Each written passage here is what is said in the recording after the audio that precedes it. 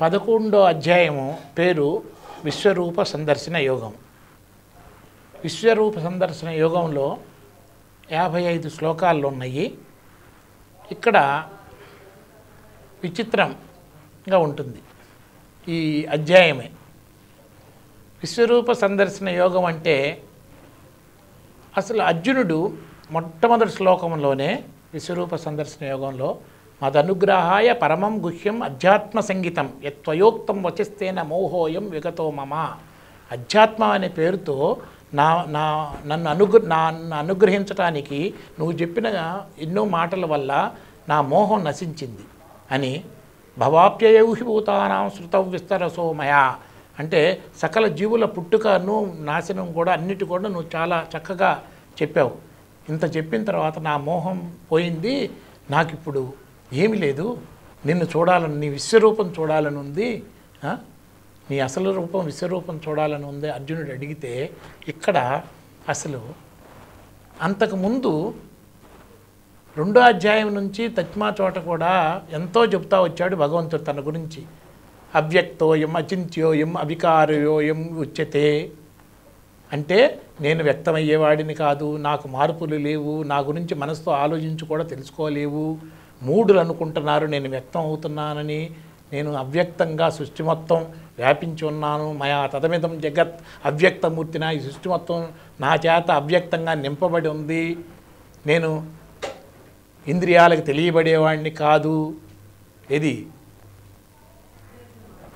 ఇంద్రియాలకి తెలియబడేవాడిని కాదు. బుద్ధికి ప్రత్యక్షంగా అనుభవంలో బుద్ధిగ్రాహ్యం అతీంద్రియం.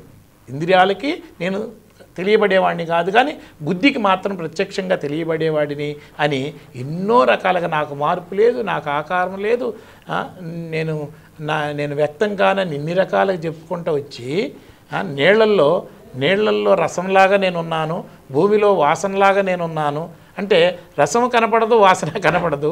ఇన్ని చెప్పిన తర్వాత కూడా మళ్ళా అర్జునుడు అసలు ఆ విశ్వరూపం చూపించమని అని అంటమే అసలు చాలా సరైన అవగాహనతో అడిగిన ప్రశ్న కాదు.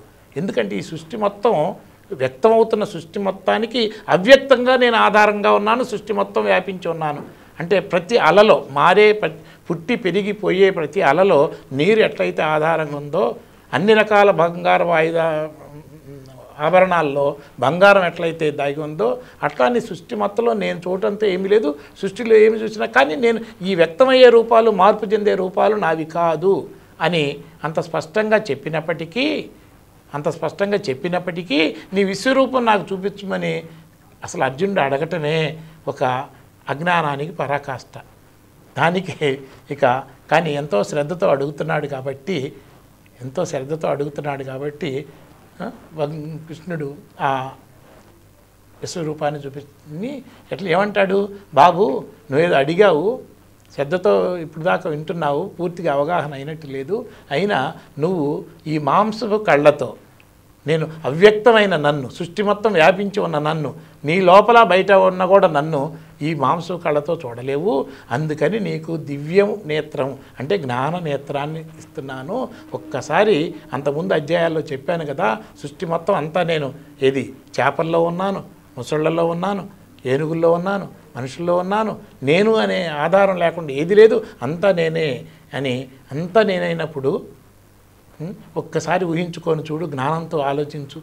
ఈ క్షణంలో ఎంతోమందిని ఎంతోమంది చంపుతున్నారు ఎన్నో ఎంతమంది మరణిస్తున్నారు ఎంతోమంది పుడుతున్నారు. అవన్నీ ఈ నేను అనే ఆధారంతోనే జరుగుతున్నాయి. ఈ ఈ నేను ఈ కాలానికి అతీతంగా ఉన్నాను. కాలానికి అతీతంగా ఉన్నాను. నేను నాలో మార్పు లేదు కానీ నా మీద ఆధారమైన అన్నీ వస్తున్నాయి పోతున్నాయి. ఈ శరీరాలన్నీ వస్తున్నాయి పోతున్నాయి. ఎన్నో శరీరాలు పుడుతున్నాయి ఎన్నో శరీరాలు చచ్చిపోతున్నాయి. ఒక్కసారి జ్ఞాననేత్రంతో ఊహలో ఒక్కసారి చూడంటే మరి అన్నీ జరుగుతున్న ప్రపంచంలో అన్నీ జరుగుతున్నాయి. ఒక్కసారి ఊహించుకుంటే ఈరోజు కూడా మనం తట్టుకోలేం కదా. ఉదాహరణకి ఎన్నో వందల వేల కోట్ల చేపల్ని వేల కోట్ల చేపలు ఈ క్షణంలో తింటున్నాయి. అది జరుగుతుందని అందరికీ తెలుసు. మరి అది తెలుస్తుంది జ్ఞానంతో ఒక్కసారి ఊహించుకుంటే ఎన్నో యాక్సిడెంట్లు ఈ క్షణాలు అవుతున్నాయి ఎన్నో మోసాలు ఈ క్షణంలో జరుగుతున్నాయి ఎంతోమందిని బాధించడం జరుగుతుంది ఎంతోమంది మరణిస్తున్నారు ఈ క్షణంలో. ఇవన్నీ ఒక్కసారి నేను ఊహించుకుంటే సత్యమే తెలుస్తుంది. కానీ అవన్నీ ఊహించుకుంటే నేను భగవంతుడికి సర్వశక్తి గల భగవంతుడికి తెలియకుండా ఏమీ జరగట్లేదు. అందుకనే భగవంతుడు అంటాడు కాలరూపంలో అన్నిటినీ హరించేది నేనే అన్నిటినీ మార్పు చెందించేది నేనే అన్నిటికీ ఆధారం నేనే అని చెబుతున్నప్పుడు అన్నిటిని ఒక్కసారి జ్ఞానంతో ఊహించుకుంటేనే తట్టుకోలేకపోతాడు. ఇవాళ కాదు రేపు అందరూ ఈ శరీరాలు కూడా పోయాయి. అందుకనే చెప్తాడు ఇది ద్రోణుడు భీముడు కర్ణుడు వీళ్ళందరూ చంపబడ్డారంటే కొంచెం ఫ్యూచర్ తెలిసిన వాళ్ళు చెప్పగలుగుతారు కదా? అందరూ నువ్వు ఉండవు నాకు తెలుసు.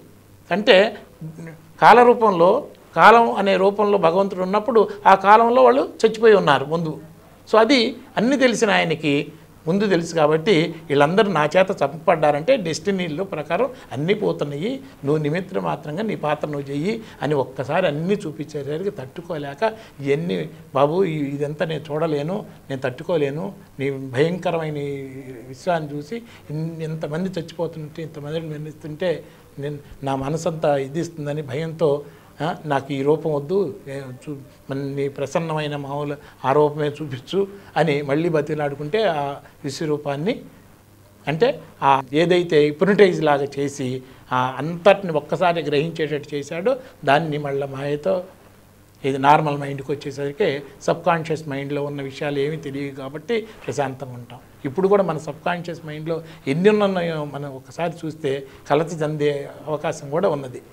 సో అది విశ్వరూప సందర్శన యుగంలో చాలా ఇది ఇది ఎవరు ఎంతవరకు అర్థం చేసుకున్నారు ఎంతమంది కానీ ఈ అధ్యాయంలో మనం లోతుకి వెళ్ళినప్పుడు ఇంకొంచెం కొన్ని శ్లోకాలను ఆధారంగా చేసుకొని కూడా ఇంకా చాలా వివరణ తెలుసుకున్నప్పుడు ఎంతటో విజ్ఞానవంతంగా మనం ముందుకెళ్ళటానికి అవకాశం ఉన్నది.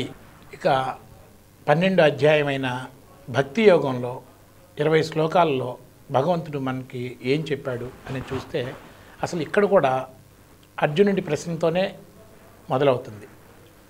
అర్జునుడి ప్రశ్న ఏమంటాడు? మొదటి ప్రశ్నతోనే ఏవం సతతయుక్తా ఏ భక్తాస్వాం పర్యుపాసతే ఏ చాపి అక్షరం అవ్యక్తం తేషాం క్యో కే యోగ విత్తమా అంటే నువ్వేమో నేను అవ్యక్తము అక్షరం అని చెబుతున్నావు సృష్టి మొత్తం నేనే చెబుతున్నావు ఒక పక్కన ఇప్పుడు అవ్యక్తమైన నీ రూపాన్ని ఆరాధన చేసేవాడు శ్రేష్ఠుడా? లేకపోతే వ్యక్తరూపమైన ఒక ఆకారం పెట్టుకుని అంతా నేనే అంటున్నావు కాబట్టి ఏ ఆకారమైన నేనే అంటున్నావు కాబట్టి వ్యక్తమైన రూపంని ఆరాధన చేస్తే శ్రేష్టమా? అని అడుగుతాడు అర్జునుడు. దానికి భగవంతుడు చెప్పిన సమాధానం అసలు నాన్ కమిటల్ ఇది అజ్జే అని ఏం చెప్పాల? మై ఆవేశ్యమనో ఏమాం నిత్యయుక్త ఉపాసతే శ్రద్ధయా పరయోపేతా తే మే యుక్త తమామతా. శ్రద్ధతో ఈ అన్ని విషయాలు పక్కన పెట్టేసి నన్ను నా ఎందు చొప్పించిన మనసు చొప్పించిన మనసు. ఎంత చొప్పించడం అంటే నీ మనసుకి నాకు తేడా ఉండకూడదు దూరం ఉండకూడదు. నీ మనసులో నేను నాలో అంటే ఉదాహరణకి చెప్పాలంటే మనం ఒక భగవంతుడిని ధ్యానం చేసేటప్పుడు ఎక్కడ ఉంటాడు అక్కడ మన మనసు లోపలే ఉంటాడు భగవంతుడు.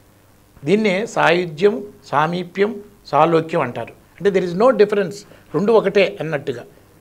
అంటే ఈవెన్ బాహ్య విషయంగా ఒక విగ్రహారాధన చేసేవాళ్ళు తిరుపతి వెళ్ళినా అక్కడ విగ్రహాన్ని విగ్రహ రూపంలో భగవంతుని చూసినా వాళ్ళు నిజంగా అక్కడ ఉన్నది ఒక దృశ్యరూపకమైన మూర్తి. దాన్ని ప్రతివాడు దర్శనం చేసుకునేవాడు. దర్శనం దృశ్యం అక్కడ ఉన్నది దర్శనం. అంటే చూడటం అనేది ఎక్కడ జరుగుతుంది? అతని మనసులో చూస్తున్నాడు. ఈ మధ్యలో ఏ కళ్ళ ద్వారా చూస్తున్నారో ఆ కళ్ళకు కూడా తెలియదు ఈ భగవంతుడి గురించి ఆ బొమ్మ గురించి. మనసే లేకపోతే కళ్ళు కూడా చూడలేవు.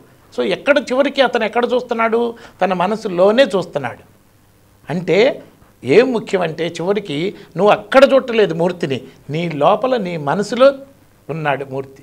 సో ఆ మనసుకి ఆ మూర్తికి దూడం ఎక్కడుంది? ఏమీ లేదు. అంటే ఏది ఇది నిరాకారమైన భగవంతుని నువ్వు ఆరాధించినా సా ఆకారంతో ఆరాధించినా చేయాల్సింది ఏంటంటే నీ మనసుని నేను ఉన్నాను అనే భావంతో లేకపోతే మూర్తి ఆకారమైన నీ మనసులోనే చొప్పించుండాలి కానీ అది ఎక్కడో ఉండకూడదు. అంటే ఒకసారి అట్లా చూసినప్పుడు నీ మనసులో ఉంది కానీ భగవంతుడు అక్కడ లేడు. అందుకనే అక్కడ మూర్తిలో ఎక్కువ లేదు కాబట్టి అందరూ నిజంగా ఆరాటంతో భగవాన్ని చూడాలి అనుకున్నాడు దర్శించాలనుకున్నాడు. ఒక్క నిమిషం అటు ఒక్క సెకండ్ ఫ్యూ సెకండ్ చూసినా మరుక్షణం ఆటోమేటిక్గా మూసుకుంటాడు. ఎందుకంటే ఇంకా ఎక్కువగా అక్కడ చూస్తే అక్కడ ఏం లేదు.